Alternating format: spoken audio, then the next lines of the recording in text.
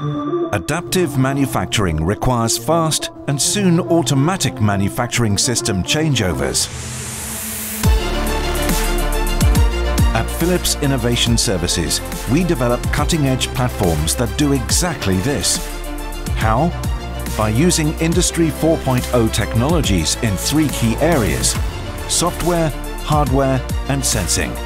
First, we deal with software.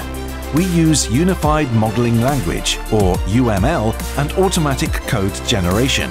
UML is the basis for model-based system engineering, or MBSE, which enables us to create a digital twin of the system. Second, we deal with hardware.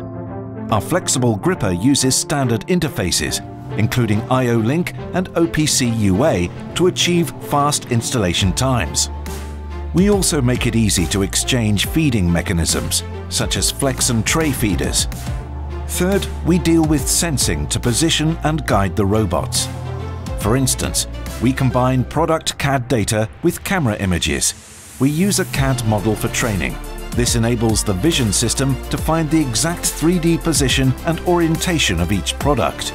The result? A flexible line using advanced collaborative robots and adaptable technologies. Fast and easy changeover from one product to another and a cost-effective approach that manufactures different products on one line to meet market demands.